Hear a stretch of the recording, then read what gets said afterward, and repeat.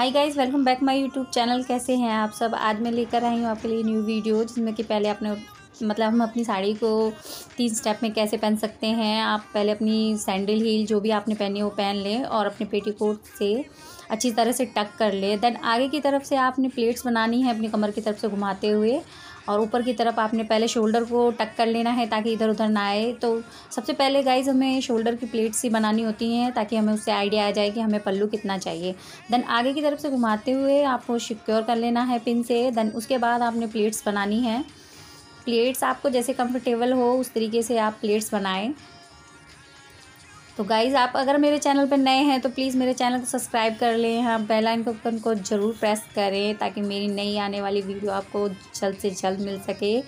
Then उसके बाद आपने प्लेट्स को अंदर टक कर लेना है अपने घूम को उसमें सिक्योर कर लेना है पिन से। दैन ये मेरा पहला था फाइनल लुक गाइज़ तो सेकंड स्टेप है, आपको अच्छी तरह से पहले की तरह ही टक कर लेना है अपने पेटीकोट से। घुमाते हुए कमर की तरफ़ से अच्छे से सिक्योर करना है, ताकि वो इधर उधर से निकले नहीं। देन फिर कमर से घुमाते हुए ताकि आपको आइडिया आ जाए, आपको प्लेट्स बनानी है शोल्डर प्लेट्स और उसको अच्छे से थोड़ा सा सिक्योर कर लेना है एक दो पिन से। इसमें गाइस हमें पिन की ज़रूरत ज़्यादा पड़ने वाली है सेफ्टी पिन की। देन उसके बाद कमर की तरफ़ से आपने इसमें पिन अप कर लेना है। देन कमर की तरफ़ से घुमाते हुए आपने वहाँ पर भी एक पिन लगानी है। पहले मैंने शोल्डर पे लगाई है, उधर मैं भूल गई थी। तो अब यहाँ आगे की तरफ़ से हमें इसको सिक्योर कर लेना है ताकि हमारे घूम अच्छे से बन सकें।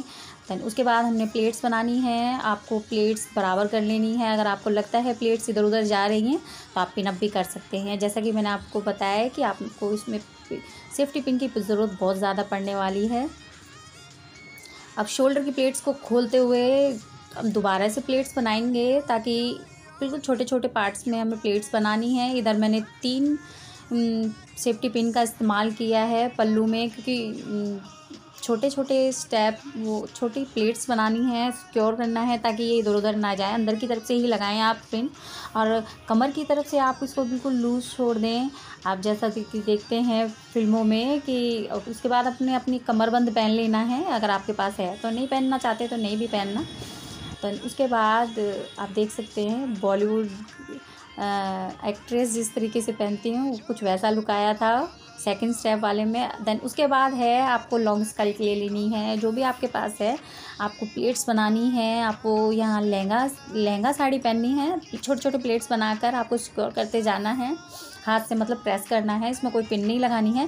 देन आपको कमर की तरफ़ से घुमाते हुए इधर भी आपने पिन पिनअप कर लेना है अपनी साड़ी को। देन इसको शोल्डर पे लग रखते हुए आप देख सकते हैं कितनी अच्छी लग रही है। देन अपने ब्लाउज से अटैच कर लेना है ताकि आपका पल्लू इधर उधर बिल्कुल भी ना भागे। आपके पीछे की तरफ़, कमर की तरफ़ से अगर आपको प्लेट्स बनाने में दिक्कत है तो आप दूसरे की हेल्प भी ले सकते हैं। और इसको अच्छे से सिक्योर कर लेना है। गाइस मैं नई नई वीडियो आपके लिए लाती रहूँगी।